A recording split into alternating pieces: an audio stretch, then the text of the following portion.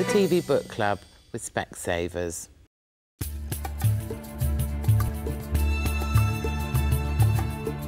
Night Road is basically a four character piece. There is Lexi, the young girl who's grown up in the foster care system and has had a really troubled youth. Uh, two twins, Mia and Zach, who are upper middle class, very privileged 18 year olds here on the island, and their mother Jude. It is this last perfect summer of these three best friends. The book is set on Pine Island, which is sort of a fictionalized version of Bainbridge Island right off Seattle. It's surrounded by water. It's a very contained space and the kids who grow up here grow up in an environment where their parents know everybody. And so it was interesting, you know, to bring Lexi into that, who had never known that kind of community and to expose her to a world that was entirely new.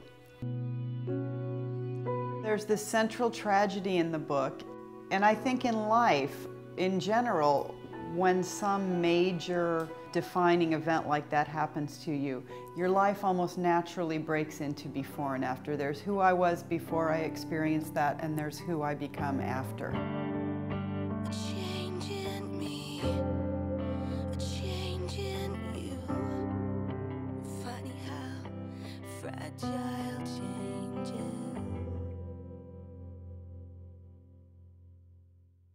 So, Night Road, uh, this is one of those books, I, as, I, I, wouldn't have picked it up looking at it, but I just, I really enjoyed it, even though I had a few doubts about it. I think it's a story we've seen before about how one mistake or one bad decision can ruin people's lives and destroy relationships and stuff. So we've seen that.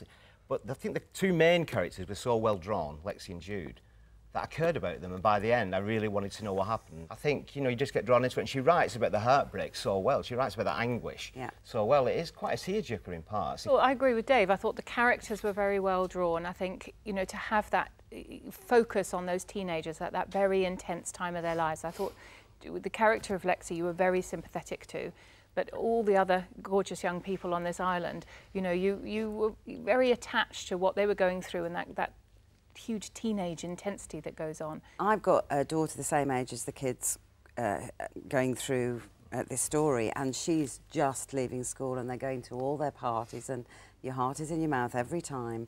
And I think for that reason, I really resonated with, with a lot of the themes in the book. I mean, I was moved to tears a couple yeah, of too. times. I kept turning the page, wanting to know what happened. You do feel like you've eaten a big box of chocolates and you're feeling a little bit overindulged at the end of it. but but I think that's, you know, for, for what it is and its genre, it's a very good example of it. And um, she can write, she can write. The TV Book Club with Specsavers.